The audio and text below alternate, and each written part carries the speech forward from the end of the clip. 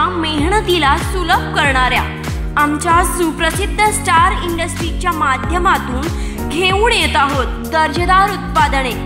कडवा कुट्टी सायकल कोळपे मीटर पेटी लाकूड कोळसा शेगडी गृहिणींसाठी खास आटा चटकी तसेच उकाड्यापासून सुटका देणारे मेटल आणि प्लास्टिकचे दर्जेदार कूलर तसेच कडवा कुट्टी मिशनचे स्पेअर आणि दुरुस्त करून मिळेल. खास दीपावलीच्या निमित्तानं योग्य आणि आकर्षक किमतीत सर्व उत्पादने मिळतील.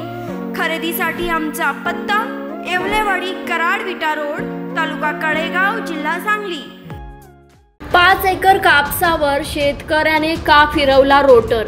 जळगाव जिल्ह्यातील भडगाव तालुक्यातील वडजी येथील शेतकऱ्यांनी तब्बल पाच एकर कापसावर रोटर फिरवला आहे.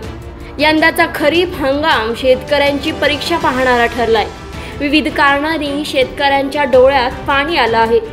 शेतातील कापूस निघण्याची वेळ आली असताना अतिवृष्टीने कहर केला त्यामुळे हातातोंडाशी आलेला घास वाया गेला. केलेला खर्चही निघणार नसल्याने भडगाव तालुक्यातील वडजी येथील शेतकऱ्याने आपल्या पाच एकर शेतामधील कपाशी पिकावर रोटर फिरविला आहे. या हंगामात त्यांनी कपाशीची लागवड केली होती.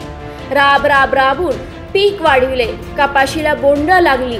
मात्र अतिवृष्टीने पीक पूर्णपणे गेले. कपाशीचे मोठ्या प्रमाणात नुकसान झाले. त्यामुळे कपाशीच्या लागवडीपासून ते आतापर्यंत झालेला खर्च देखील निघला नसल्याने शेतकऱ्याने पाच एकर शेतातील कपाशीच्या पिकावर चक्क रोटर फिरवला आहे.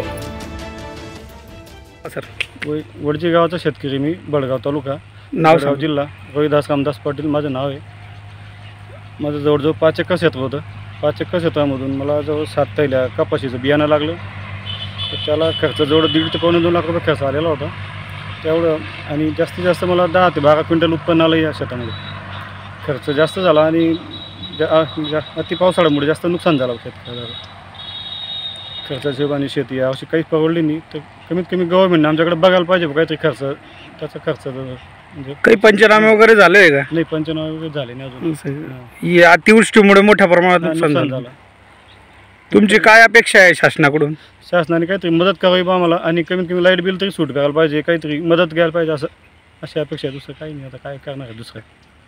अपेक्षा आहे. किती वर्षानंतर तुम्हाला असा अनुभव आला? जवळजवळ चार पाच वर्षाचं पूर्वी बी झालं होतं असं तीन चार वर्षा पहिले. आता परत यावर्षी असं झालं अजून. या त्याच्यापेक्षा जास्त झालं पण.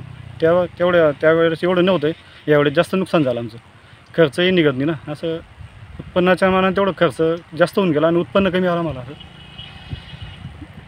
सरकारने आम्हाला काहीतरी मदत द्यायला पाहिजे त्याच्यामध्ये असं.